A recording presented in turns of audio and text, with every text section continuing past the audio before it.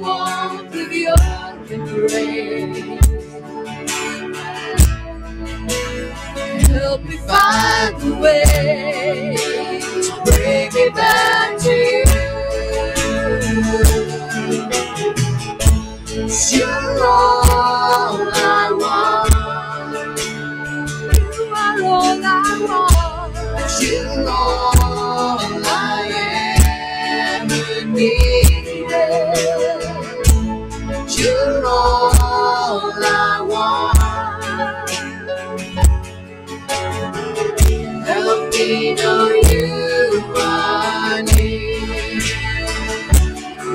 让我心乱。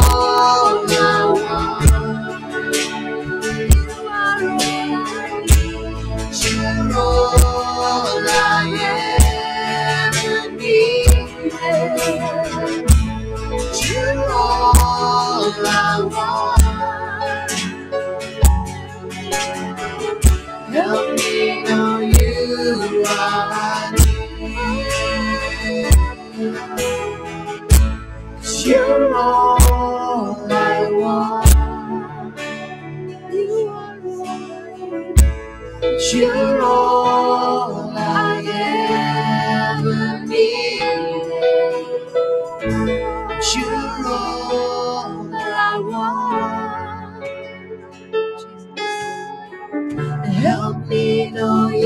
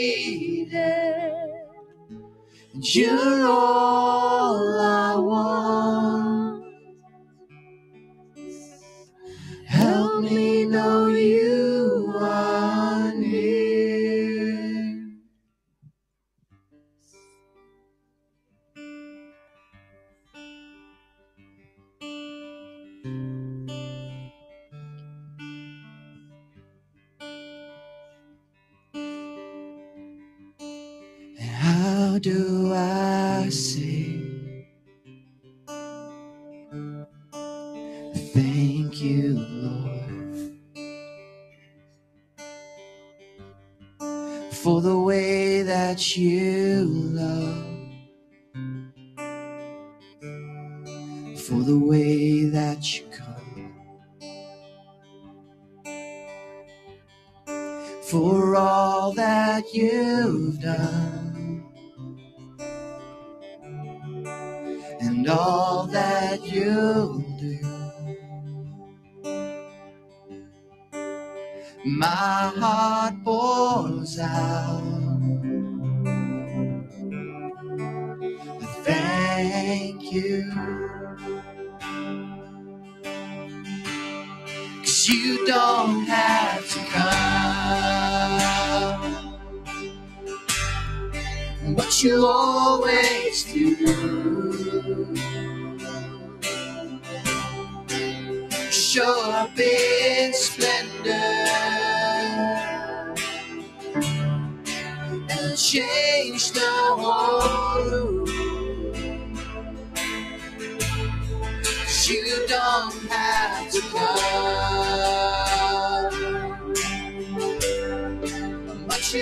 Always do.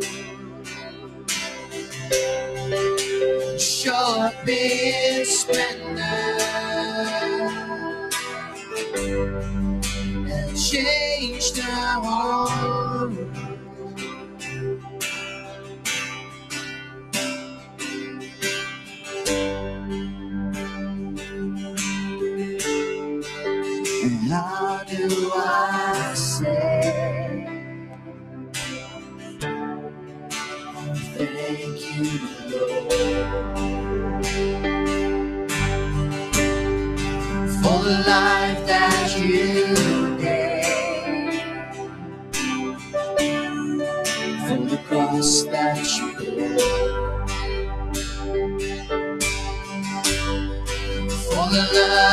you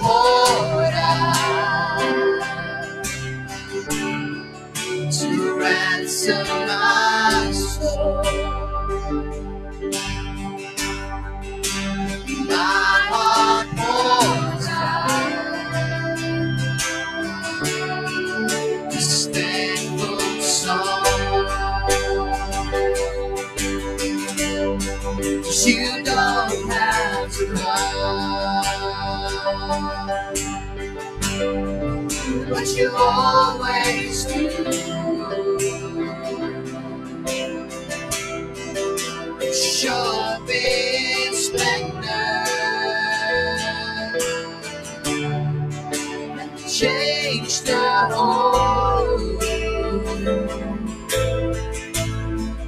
You don't have to run, but you always do.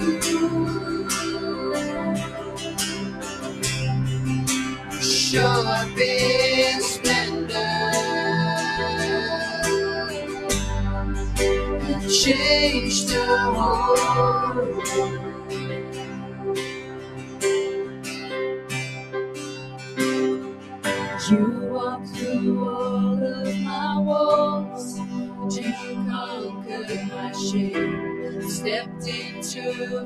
My past. Filled my world with grace. You didn't have to come, but you wanted to. Oh. You walk through all of my walls. You conquered my shame. Stepped into my past. Filled my world with grace. You didn't have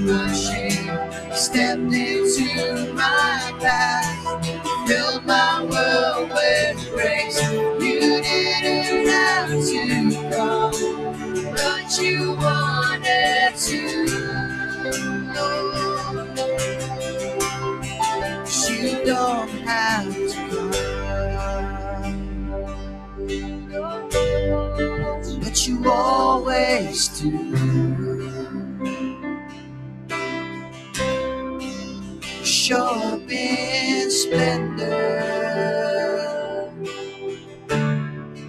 and change the whole room. Cause you don't have to come, but you always do. Show up in splendor change the world. You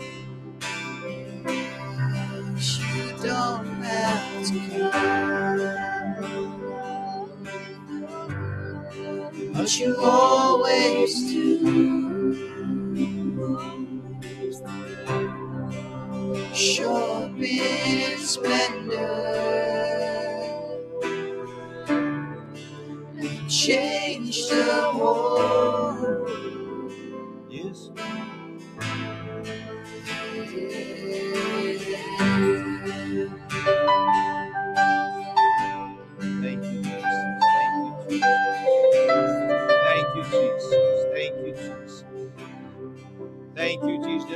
Waar jy Jesus daar. Lord, you always show up in time. Jesus, you always show up in time. Lord, you're never late, and we thank you, Lord. You don't have to come, but you always do. You don't have to, but you always do because of your mercy, because of your grace. You stepped into my past. Lord, you blotted out everything that was against me and filled my whole past, my whole life with grace. Thank you, Jesus. Thank you, Jesus. Thank you, Jesus. Thank you, Jesus. Thank you, Jesus. We say thank you, Father. We honor you. You don't have to come. But Lord, we thank you for your amazing love, your amazing grace, your loving kindness, Lord. We worship you and you thank you.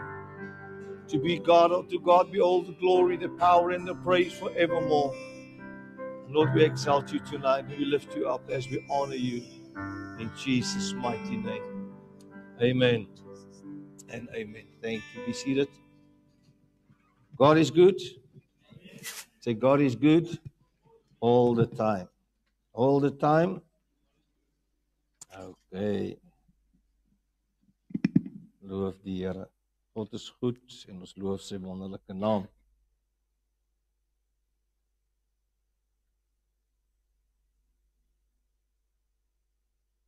Wat 'n voorreg om die naam van die Here groot te maak. Nou ons ons praat so 'n bietjie ehm um, oor die wil van God. Ehm um, ek dink hy's so klein bietjie hard hier voor by my. Ons praat oor die oor die wil van God vir ons lewens. En ehm um, wie kan onthou waaroor ons laasweek gepraat het? Wees in alles dankbaar want dit is die wil van God in Christus Jesus oor julle. Baie vra uh pastoor, wat is God se wil vir my lewe? What is God's will for my life? How do I know what is God's will? I want to do God's will. Nou God se wil is dat jy in alles, sê in alles, in elke omstandigheid dankbaar sal wees. Dis dis dis een een van die en ons gaan so deur 'n paar van hulle werk. So in die heel eerste plek, al gaan dit by jou hoe goed, al gaan dit by jou baie keer hoe opdraand, uh, al gaan dit baie keer met jou hoeveel uitdagings in elke opsig en alles, wees in alles dankbaar. Dit is die wil van God in Christus oor julle. So as jy nou nie dankbaar is nie, as jy as jy uit die wil uit. Ek sê as jy nie dankbaar is nie, as jy uit die wil uit. En baie van die goed wat oor ons lewens kom, het ons self geskep. Dan moet jy maar dankbaar wees dat jy nou maar die or, die die die, die argitek was van jou eie omstandigheid. Don't find out to try to to find out who's who's the guilty party. You are the guilty party. Baie keer skep ons omgewing met ons eie tong, ons eie gedagtes, ons eie menslike begeertes. En dan kom daar tye wat jy deur 'n deur 'n uitdaging gaan wat jy nie voor gebaken het of gewag het of beplan het nie, maar in, al die dinge is die Here met jou, by jou, oor jou, om jou, vir jou, deur jou. So jy kan dankbaar wees. Alraight, ek lees in die Bybel, in my Bybel, ek weet nie van julle Bybel nie, maar toe Paulus en Silas in die tronk was, het hulle in die hoekie gesit en suurlemoensap gedrink en heeldag gesit en huil. Hulle het lofliedere tot God gesing. Nou pastoor Freddy uh, Libbe van Woester het so hy het so gesegde, dis waar die jailers rock begin het. Toe Paulus en Silas daar in die tronk begin sing. Uh -huh. En toe hulle begin sing, toe begin Jesus tyd toe met sy voet. En toe kom daar 'n jailers rock en toe val al die ketting van hulle voete en hande af en hulle gaan vry uit. En dis wat God doen wanneer jy hom kan loof en prys en dankbaar wees in elke omstandigheid. As die vyand jou kan kry om moedeloos te wees, as jy moedeloos is, is jy hopeloos. As jy hopeloos is, is jy heeltemal loos. Jy's nie goed genoeg vir jouself nie, nie vir jou mense rondom jou nie, vir niemand nie, want jy's moedeloos, hopeloos, argeloos. En dan voel jy iewers moet ek nog net weer 'n bietjie gerecharge word. So 'n uh, 'n uh, wees in alles alles alles dankbaar. En dit is maar 'n dit is 'n mindset, 'n kopskuif wat elkeen moet maak. Just remember one thing. The bottom line of life is life is a matter of choice. You choose to be happy. You choose to be grateful. You choose to be thankful. Of jy kies om OK. Nou gaan ons nou gaan ons nou dit was geskryf in in 1 Tessalonisense 5 vers 18. Nou bly ek net een hoofstuk terug. Dan vind ons uit wat sê Paulus in 1 Tessalonisense 4 vers 3. Hy sê want dit is die wil van God julle julle en dat julle julle moet onthou van hoerery. Alright. For this is the will of God even your sanct, uh, sanctification that ye should abstain from sexual Im immorality or fornication. As this is the will of God that you uh, be sanctified, separated and set apart from sin and that you abstain and back away from sexual immorality from fornication. So dis God se plan, dis God se wil. Nou nou um uh uh, uh um sexual immorality, fornication, hoerery uh, is is geestelik ook. Jy kan nie aan God behoort en met die wêreld wil wil wil omgang hê nie. Jy moet besluit, jy deel nie jou vrou met 'n ander man nie, nog minder wil God jou deel met met met met met die met die wêreld, met die vyand, met Satan. OK. So jy is met jy's jy's verbind aan Christus. Paulus sê in in uh ek dink is 2 Korintiërs 11 sê hy hy sê ek het jou as reine maagd aan een man verbind. I have betrothed you. Jy's getroud met Christus. Jy's verbind met hom. So as jy aan hom behoort, kan jy nie by die wêreld gaan flankeer. En met die wêreld gaan gaan intiem in omgang hê en dan wil jy God met daarmee tevrede wees nie. God haat dit. God hate mixture. Dis of ek of die wêreld. Ek sê kerk van Jesus, dis of God of die wêreld. Jy kan nie albei nie. Dit is die wil van God. It's God's will for your life. Your sanctification, to be consecrated, to be set apart for purpose only. To be set apart for him only. To live a holy and a pure life because of holiness. Dit is God se wil vir julle naamlik julle heiligmaking. Dis God se wil julle heiligmaking. Nou ek wil vanaand bietjie met u praat oor heiligmaking omdat die algemene Christen in die godsdienstige wêreld het 'n wanpersepsie van heiligmaking is. Ek onthou jare terug was heiligmaking, jy, jy moet 'n hoed dra, jy mag nie rooi lippe hê nie, jy mag nie grimeer nie, jy mag nie oorbelle dra nie, jy mag nie dit, die vrou mag nie langbroek dra nie en al die goed en daar's vandag nog mense wat nog steeds hierdie nonsens glo. Ek kan vir jou skrifte wys hoe God die vrou aangetrek het. Miskien moet ek gou vir jou net Uh, ek het gou vinnig hierso in my Bybel kyk. Net gou vinnig. Ek dink net gou vinnig vir jou. Ek wil net vir jou net 'n voorbeeld gee. Uh hoe die Here 'n vrou aangetrek het.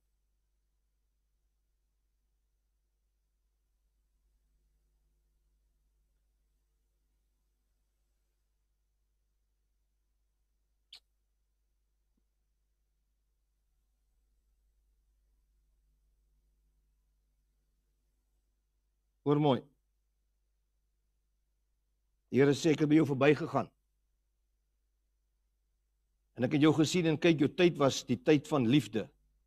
Toe het ek my vleuel oor jou uitgesprei en jou naaktheid toegedek. Ja, ek het vir jou gesweer en met jou verbond aangegaan spreek die Here en jy het myne geword. Ek het jou met water gewas, jou bloed van jou afgespoel en jou met olie gesalf. Ook het ek jou bekleed met veel kleurige klere en vir jou skoene van robbevel gemaak en ek het jou gehul in fyn linne en jou oordek met sy. Verder het ek vir jou sierade versier met armbande aan jou hande gesit, kettinge om jou hals 'n ring aan jou neus gesit, oorring aan jou ore, 'n pragtige kroon op jou hoof. En toe die kerk vir jare beklei oor oorbelle en neusringe en en kettinge en goeder, on, onthou julle dit? Maar hier het God 'n vrou aangetrek. Die probleem is hy sê, Ja, jy het jou versier met goud en silwer en jou klere was fyn linne en sy veel kleurige stowwe, fyn meel en heuning en olie geëet en jy was buitengewoon mooi en so voorspoedig dat jy koninklike waardigheid bereik het. Maar maar jy het vertrou op jou skoonheid. Nie op my vertrou nie, jy het begin vertrou op jou skoonheid. Dis die probleem. OK. Dis maar net ek kan julle nog 'n klomp ander voorbeelde gee. Dit is Esegiel 16 vers 16. Ek kan daar vanaand gaan lees, Esegiel 16. Goed. So 'n uh, 'n uh, um, heiligmaking het niks te doen met wat trek jy aan wat wat wat trek jy nie aan. Jy het niks daarmee uit te wyn. Heiligmaking sanctification means purification to be purified to be holy to be sanctified, to be consecrated, to be cleansed. Now, holiness means one.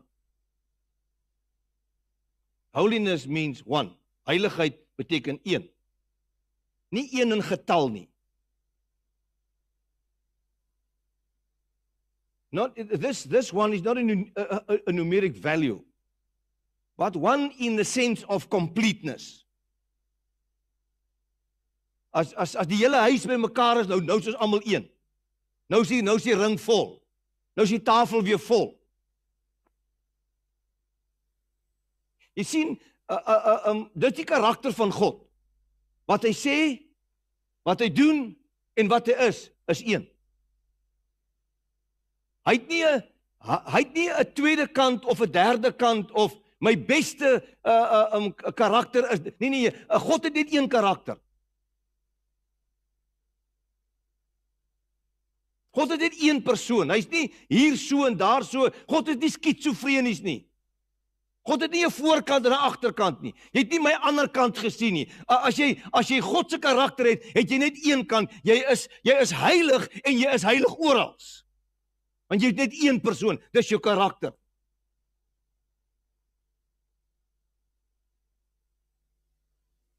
So ek ek wil eers met jou praat oor heiligheid voor ek by heiligmaking kan uitkom.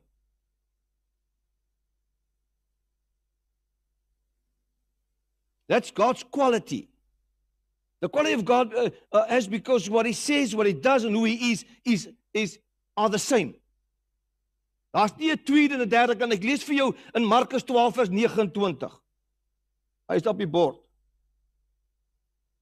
En Jesus antwoord hom: "Die die eerste van al die gebooies, hoor Israel, die Here ons God is 'n enige Here." Jesus answered the first and most important one. Hear, O Israel, the Lord our God is one Lord. Daar's nie nog 'n God en nog 'n Here en jy het hierdie een nodig nie, daar's net een Here. Hy's die enige. Dis wie hy is. Daarom sê hy moenie begeer nie. Hoekom nie? Want ek as God begeer nie. Moenie steel nie, want ek as God kan nie steel nie.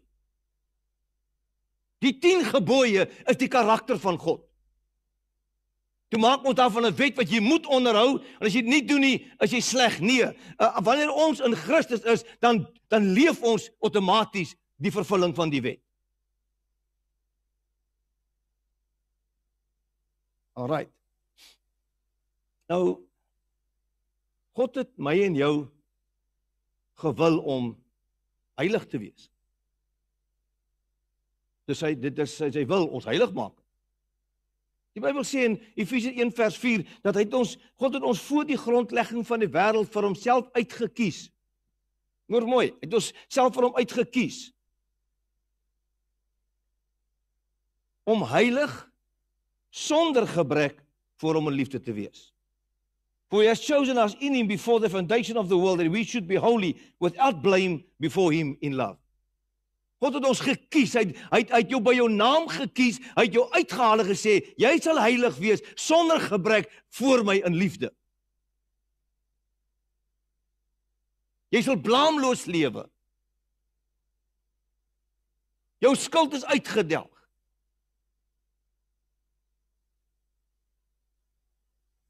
Ek wil ek wil vir jou 'n uh, net so profetiese woord gee wat wat God vir die volk gee wat eintlik op ons betrekking het tot vandag toe. Hy sê vir Moses daar in Eksodus 14, Moses aan uh, uh, um, antwoord die volk en sê wees nie bevrees, jy staan vas, aanskou die verlossing, aanskou die verlossing van die Here wat hy vandag vir julle sal bewerk. Want soos julle Egiptene vandag sien, sal julle nie weer sien in ewigheid nie. Die Here sal vir julle stry en julle moet stil wees. Nou wil ek net gou vir u vra, in jou verlore toestand het jy ooit gedink, hoe gaan jy ooit heilig word? Hoe gaan jy dit regkry om heilig te word met hierdie vleeslike, vreeslike, vleeslike begeertes? Jy sê die Here moenie worry nie, moenie stry nie. Moenie bekommer nie. Die Here stry vir jou. Ek gaan jou vyande vir jou verslaan. Ek gaan dit vir jou doen. Hoor mooi wat skryf, wat skryf Paulus uh, uh, um, um, aan die Efesiërs en ek wil net vir jou sê wat is God se gedagte? Uh, uh, en wat doen Jesus toe vir jou en my? Hoor hoor mooi in Efesiërs 5. Hy sê manne, julle moet julle eie vrou, nie ander man se vrou nie, jou eie vrou lief hê. Soos Christus die gemeente liefgehad en homself daarvoor oorgegee het om dit te heilig nadat hy gereinig het met die waterbad deur die woord sodat hy die gemeente sy liggaam voor hom kon stel verheerlik sonder vlek of rimpel of iets dergeliks maar dat dit heilig en sonder gebrek sou wees Jesus het homself oorgegee om ons heilig te maak Manne, julle moet julle eie vrou lief hê soos Christus die gemeente liefgehad het en homself daarvoor oorgee. Vroue, julle moet julle eie mans lief hê. Nie nie 'n ander vrou se man nie. Om dit te heilig. Hy het homself oorgegee om dit te heilig nadat hy, Jesus, dit gereinig het met die waterbad deur die woord, sodat hy die gemeente voor hom kon stel, verheerlik sonder gebrek, sonder rimpel, sonder vlek of iets dergeliks. Uh, uh, o, uh, mense, Dit het God vir jou en my gedoen. Wat kon wat kan jy doen? Wat wat kon jy doen om jouself heilig te kry?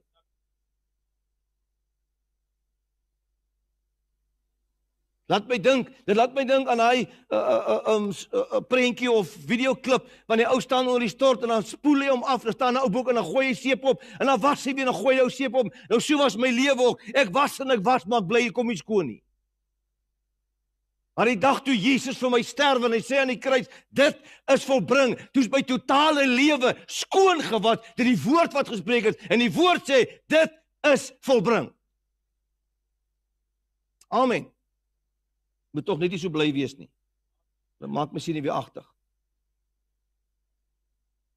Nou nou sê nou skryf Paulus, ag Petrus, die apostel Petrus se briefie aan die gemeente en hy sê dan dan 1 Petrus 1 vers 16 Hoor wat sê hy? 1 Petrus 1 vers 16. Weet julle wat hy sê? Wees heilig. Want ek is heilig. Wees heilig. Want ek is heilig. Nou wat beteken wees? Beteken just be. Wees net wie ek jou gemaak het. So wees net heilig. Want ek is heilig en jy is by uitgebore.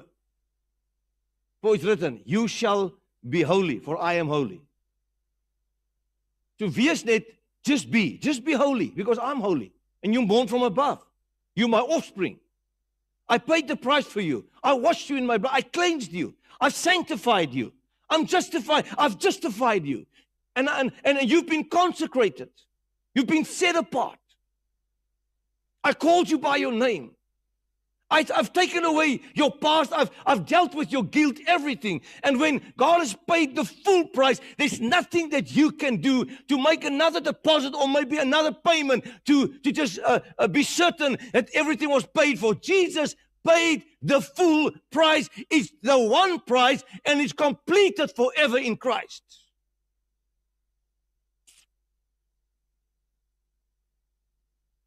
Wees heilig. Wees heilig. Wees net heilig.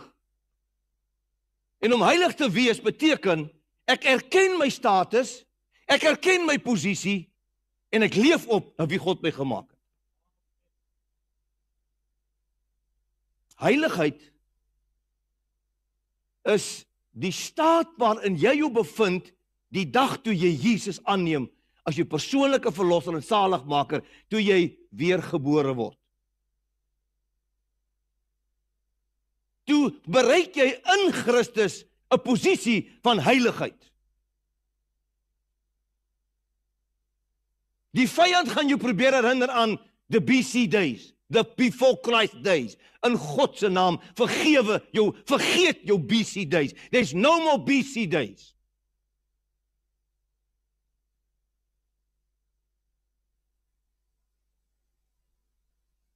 You are, you are now in the IC days.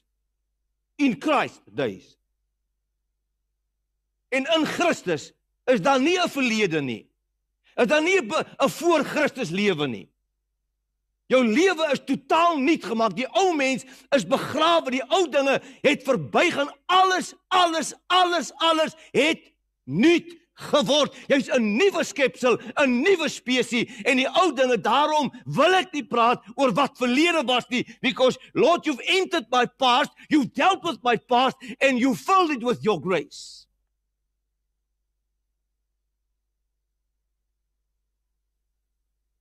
So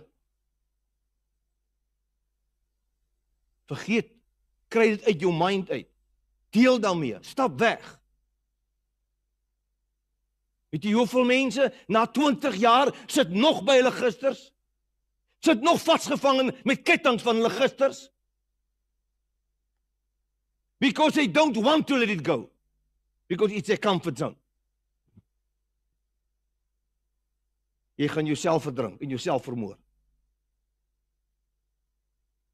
Lord, you stepped into my past. You took it away. Took all my shame away. I shame pastoor. Ai, shame pastoor. Ons as kinders het gesê man shame, melk die koei en kry jy skuim.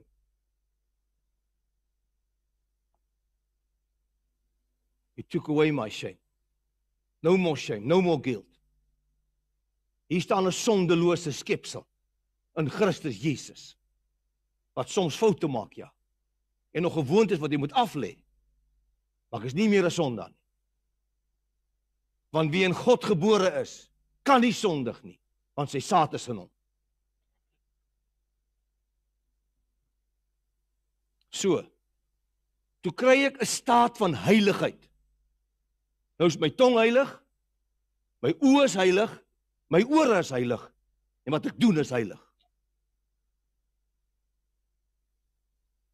And this is your character because you're only one because a, a, a sanctification holiness also means integrity. So I'm a man of integrity wat ek hier voorgee en wat ek by die huis doen. Wat ek in my kamer doen, in my motor doen, in my kantoor doen, oral is daar net een persoon. Ek het by hierdie groepie so so en so en dan praat ek hierso vuil grappe en vuil goedes en as ek by die groepie is, is ek so heilig die Here weet die engele staan vir jou op aandag. Daar's nie dit is nie integriteit nie. Dis nie heiligheid nie. You just need to be one person. The, you, you need to be the Christ person who God has made you to be. Wat God jou gewil het. Dit is sy wil naamlik julle heilig maak. Ek kom nou by heilig maak. Ek moenie worry, ek's op pad soontoe. Alright. Nou wil ek nou wil ek gou vir jou goeie nuus gee. Hebreërs 10 vers 11.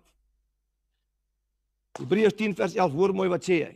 Elke priester, Ou Testament, elke priester staan wel dag vir dag om om die diens waar te neem en dikwels dieselfde slagoffers te bring vir wat tog nooit die sonde kon wegneem nie. Maar hy, Jesus, en nadat hy een slagoffer vir die sonde gebring het, vir altyd gaan sit aan die regterhand van God. Hoeveel offers het hy gebring? Een slagoffer. Vir die sonde gebring het hy vir altyd gaan sit, vir altyd. Hy het vir altyd gaan sit aan die regterhand van God en wag verder totdat sy vyand gemaak is die voetbank van sy voete. Want deur een offer het hy vir altyd volmaak die wat geheilig word. Wie was geheilig? Die wat hom aangeneem het deur geloof. Hy het een offer betaal om ons vir altyd, nie net vir 'n tydjie nie, vir altyd volmaak die wat geheilig word. En die Heilige Gees getuig saam met my. Jo. Dan sê vers 17. En aan hulle sondes en hulle ongeregtighede sal ek sal ek sal ek nooit weer dink nie. Maar nou vergifnis van hierdie dinge is is daar geen meer offer. So jy kan geen offer bring, geen werke doen, niks doen kan jy doen om jou nog heiliger te maak nadat Jesus een offer vir jou gebring het, een offer vir altyd jou gekompleet, vervolmaak, jou afgehandel het in Christus. En die Heilige Gees getuig saam met dit. En dan sê hy Ek dink nooit weer aan jou sondes nie. Hoekom dink jy aan jou sondes? Ek sê hoekom gaan krap jy in jou ou sondes? Dan 'n ou vuil drein. Los daai deksel toe hy stink. God dink nie aan jou ou goed nie. God het nie 'n busy days van jou nie. Hy het uitgewerp, uitgewis. Hy dink nooit weer daaraan nie. Of lees ek die Bybel verkeerd? Dit wat die Bybel sê. Nou nou uh, uh, um nou is ek mos 'n heilige mens. Is dit so? Glo jy dat jy 'n heilige mens is? Jy het nou heiligheid, jou jou posisie in Christus is is heilig. En ek wil gou net vir jou vra, as jy as jy in die as jy in die wingerd ingeënt is, wat is jy? 'n Piesang. 'n lemoen. Jy's 'n jy's 'n wingerdloot wat wat voortbring. Nou as Jesus heilig is en jy's in hom ingeënt, wat is jy? Jy is nogal skerp hoor. Sjoe. Die wat julle in my klas sit. Jy's heilig. Ek sê jy's heilig. Maar die duiwel vertel vir jou man, jy's 'n sleg sondaar man. Ons is mos maar almal sondaars. Ja ja ja ja. Ja Godsdienst leer ons ons is nogal almal sondaars. En ons moet kort kort met ons bekeer en kort kort met ons bely en kort kort met ons sondes. Ek sê vir jou, as Christus, as jy in Christus ingeënt is, in die ware wynstok in, my Vader is die landbouer, ek is die wingerd, julle is die lote.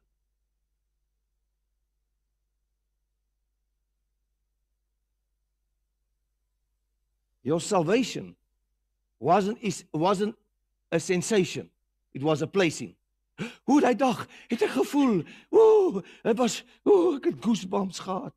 Tot onder my toonels ooh dit was ooh ooh dit was goddelik. Ja dit was goddelik.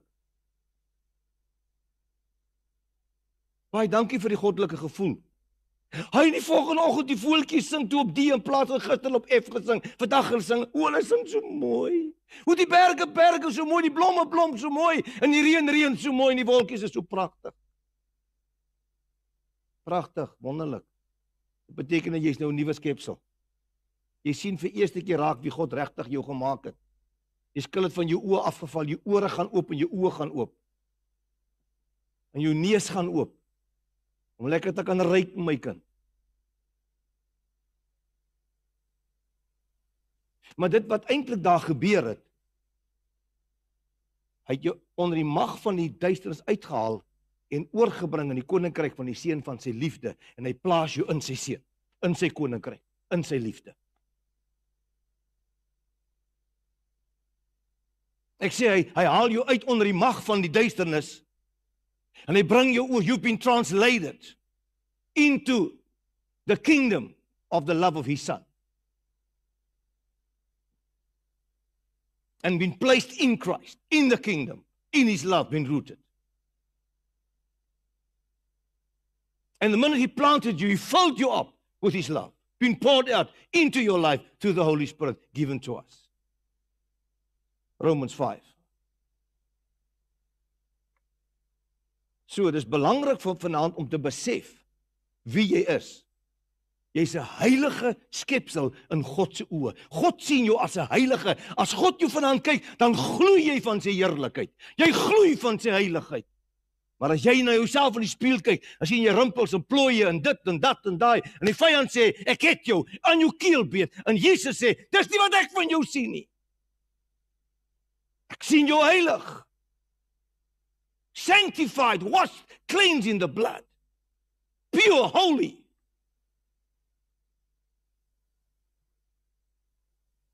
Wat doen ek nou?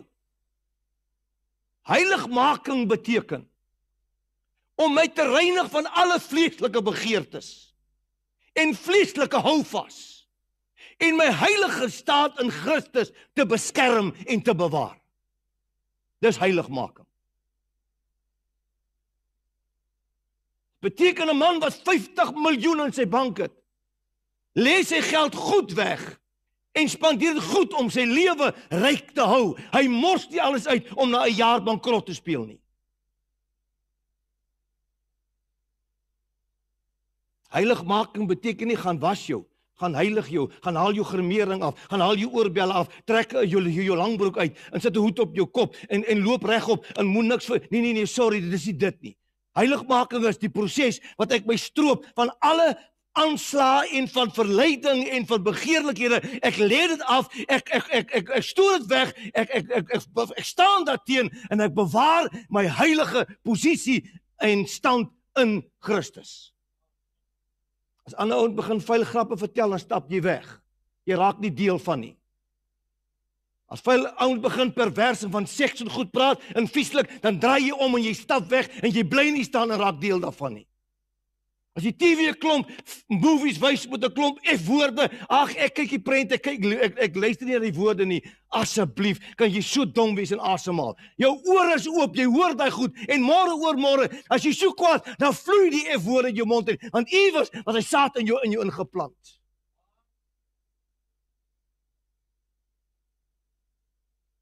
If you want to be holy, you guard yourself to stay pure to stay holy, to stay consecrated. Because this is who God has made you to be. En ek gaan jou vanaand sê, as ek kyk net na die Ou Testament. As iemand in 'n onheilige uh uh uh um toestand in die teenwoordigheid van God gekom het, het hulle dood neergeslaan. Want God kan nie onheiligheid verdra nie. Daarom moes hy sy seun doodmaak vir my en jou dat ons vanaand genade by hom kan vind. En gaan vanaand vir sê genade is nie God het genade vir jou verkeerde goed nie. Hy het genade vir jou. God haat goed wat nie soos hy is nie. But by God is an all-consuming fire and he will consume everything in your life that is not of him. Hoe hou ek myself skoon? Hoe hou ek myself? Hy sê as ek met hom gemeenskap het, dan wandel ek in die lig soos hy in die lig is en die bloed van sy seun reinig my. So hoe meer ek met hom gemeenskap het, is dit die dialyse van sy gees en van sy bloed wat my gedurig reinig en heilig hou en skoon hou want ek is 'n heilige skepsel in Christus.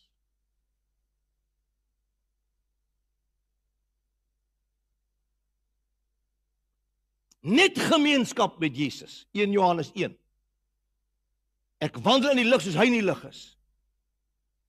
En terwyl ek met hom gemeenskap het, reinig sy bloed my. En hy hou my skoon.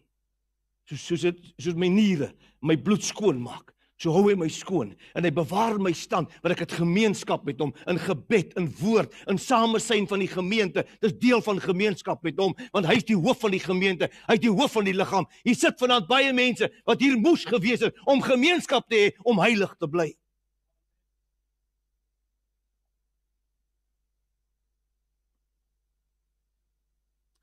Gou nog twee skrifte dan soos klaar. Ek is nie kwaad nie, ek is ernstig. God het lank genoeg vir 'n kerk gewag wat hom houker wil dien. Sondag kom sing en juig en spring en dans en stap in, bid 'n bietjie, sing 'n bietjie, gee 'n tikkie preek 'n bietjie gaan ons huis toe. God soek 'n plek wat inkom en sê dit's dis nou tydloos. Ek het nou tyd gelos. Ek is nou hier om God te aanbid. Ek is hier om sy naam, om dankie te sê vir my gesondheid, dankie vir heerlikheid en alles dankbaar te wees en te een om te sing en te dans en myself te verloor en wie ek is uitverkoop aan hom om sy naam groot te maak want God is 'n goeie God. Hy's 'n goeie Vader. Ek is hier om te loof en en dan kom ek in en ek is hier om te sê dankie Here want ek is in gemeenskap met U en hoe meer ek met U in gemeenskap, hoe heiliger en heiliger en heiliger uh, uh, is my gedagtes want ek is besig met hom en ek besef eintlik wie is ek ek regtig en waar jy instap skyn die lig van God. En maar die lig instap, moet duisternis vlug. En dis nie net my werk nie, dis die dis die gemeente se werk. Ons almal moet skyn, laat ons skyn vir Jesus soos sy helder glans. Skitter aan die soos die sterre. Nou sê Paulus ag sorry ek sal net maar sy naam uit, uit, uit vir hierso. Hebreërs 12 vers 14 sê: Jaag die jaag die vrede na met almal. O Here, dis 'n moeilike een. Maar jaag die vrede na met almal. Wees in alles dankbaar. Jaag vrede na met almal. En die heiligmaking. Jaag die heiligmaking soos 'n hond 'n kat jag, so jaag jy heiligmaking. Waar sonder niemand die Here sal sien nie. Weet jy weet jy weet jy toe toe gaan die eindtyd ouens mos en maak dit mos 'n wegrapings wederkoms versie. Dit niks daarmee te doen nie. Hoe meer jy heiligheid leef, hoe meer sien mense Jesus in jou. Ek, ek vra jou baie, wie wil almal Jesus sien? Kyk mense aan hom sê kyk links kyk reg, dan moet jy hom sien. Christ in us need to be manifested. Need to be revealed, need to be uh, disclosed in the earth. As hulle jou deksel aflig, moet hulle Jesus ryk, Jesus proe en Jesus sien.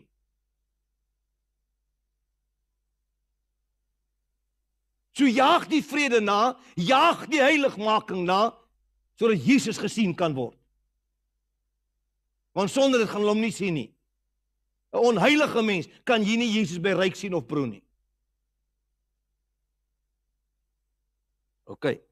Ons gaan ons gou-gou net, net klaar maak. En hierdie die laaste gedeelte wil ek vir jou stadig lees. Hebreërs 10 vers 19. Nou het ek mos nou vrymoedigheid want ek is mos nou rein. Kan ek gou-gou vir u sien die dae toe jy mos katte kwaad op die skool aangevang het en die meneer jou skool of roep jou in, nou was jy mos onvrymoedig en bang. Wat is nou maar as jy niks gedoen het nie. En jy weet jy het niks verkeerd gedoen nie. En hy roep jou in dan moet dit of 'n goeie punte wees of vir 'n beker of vir wat ook al of sal vir my dit doen asseblief. Nou as jy mos nou vry is en jy's heilig gemaak en jy verstaan jou heilige posisie en jy leef in heiligmaking, jy jy jy staan op teen uh, en jy veg in jou omdat jy staande bly teen die liste van die duiwel, teen die aanslag wat na jou toe kom, die pile wat geskiet word, jy bly staan in jou verlossing wat Christus vir jou gewerk het en die en die heiligheid wat hy vir jou gegee het. As jy dan uh, laat ons die Bybel broeders dan met vermoedigheid het om met die heiligdom in te gaan deur die bloed van sy seun Jy sien sy bloed het jou mos skoon gewas. Op die nuwe en lewende weg vers 20 wat hy vir ons ingewy het deur die voorhangsel heen, dit is sy vlees en ons 'n groot priester oor die huis van God het. Laat ons toetree met 'n waaragtige hart in volle geloofsekerheid, die harte deur besprenkeling gereinig van 'n slegte gewete en die liggaam gewas met rein water. Weet jy mense, wanneer God jou heilig gemaak het, het hy tot jou gewete skoon gemaak. Oud oud eendag vir my gesê het ook so bietjie cool verloor jare terug Hap Simon sig. En hy was 'n mooi Christen en ek was daai dag nie 'n mooi Christen. Hy sê vir my, "Hey, my gewete is skoner as jou gesig." Hy sê, "Kom kom sê dit hier." Maar dis baie jare terug. Dank God ek is verlos van daai goed. Nou sê hy, as jy laat ons nou hierdie belydenis. Laat ons nou hierdie belydenis van die hoop ontwankelbaar vashou want hy wat dit beloof het is getrou. Wat sê vers 24? En laat ons op mekaar ag gee. Wat moet ons doen? Op mekaar ag gee tot liefde en goeie werke. Ons moet mekaar aanspoor, nie afbreek nie. nie afkraak nie. Ons is in een liggaam ingedoop. My pinkie beklei nie met my duim nie. Hoekom beklei God se kinders met mekaar? Hoekom kompeteer God se kinders met mekaar? Stop dit. Kom ons stop dit. Ons moet mekaar uh, met liefde en goeie werke moet ons mekaar aanspoor. Laat ons die onderlinge byeenkoms nie versuim so sommige die gewoonte het nie. Maar laat ons mekaar vermaan en des te meer na mate die dag sien nader kom. Want as ons dan opsetlik sondig nadat ons tot die kennis van die waarheid ontvang het, bly daar geen offer meer oor vir die verkeerde goed wat ons doen. Is daar nog 'n vers? Dink jy so nie? So kom ons bewaar ons heiligheid deur heiligmaking. Moenie die onderlinge byeenkomste versuim nie. Hoekom nie? Jy's 'n lid in die liggaam. Jy's deel van die liggaam. Moenie mekaar aftrek en afkraak en afbreek nie. Behou jou heilige posisie in Christus. Dis heiligmaking. Moenie probeer werke doen om jouself meer heilig. O, weet as ek 'n pastoor se goeie boekies is, dan voel ek hom heilig, jong. Ek gaan vir hom, o, oh, elke dag 'n koek bak. Nee man, pastoor laat ek net so dik van die koek, maar hy's hy's maar net dieselfde mens. Nee.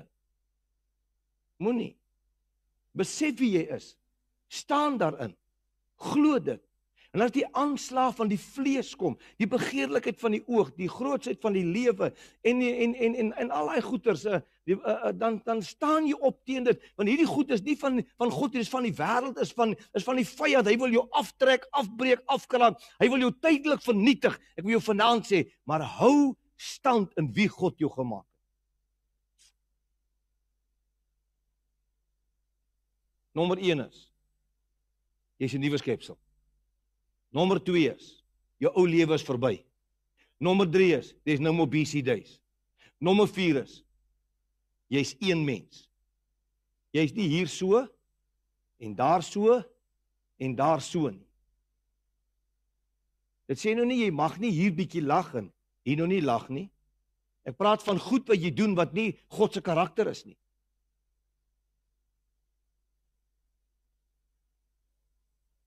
Jy jy gaan nie oor oor sekere grense goed sê en doen wat nie God se plan is nie. Jy gaan nie hoereer met die wêreld en môre wil jy vir die Here sê, "O ek is so lief. I love you Lord and I lift my voice." Hierdie is 'n vals nootjie iewers.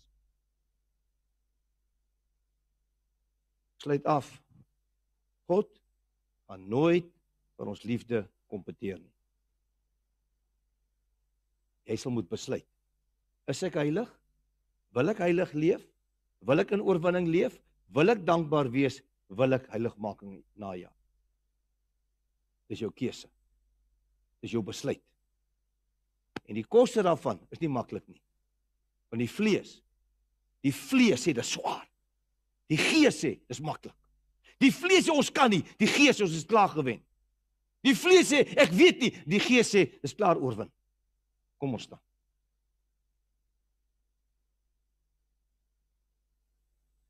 Wie net vandaan daar wie staan net sê dankie Here. Dankie Here dat U my geheilig het. Dankie vir die kameras. God bless you guys. Thank you. Bless you. Ek wil hê jy moet net waar jy is. Moenie dat die vyand vanaand vir jou vertel maar jy's sleg man. Jy sê dis jy's 'n slegte. Jy is nie